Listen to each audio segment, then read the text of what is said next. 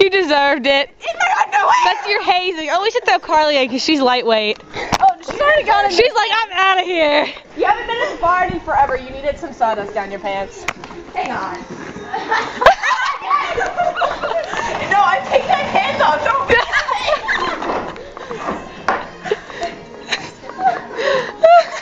blocker in there. Wait, wait, I need a video of, like the latch door.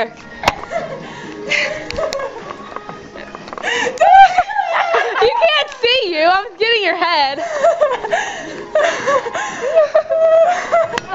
oh, it's still in there.